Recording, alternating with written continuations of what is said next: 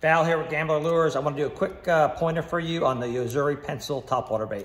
Great fishing bait out of the package like this, catches a ton of fish. But sometimes you get those situations where they're just not eating it, they want something a little different. I made a couple changes. I had a feather hook in the back. I put a short shank treble hook on the front. I'm working it real aggressive on braid. It doesn't wrap up. Fish is real easy that way.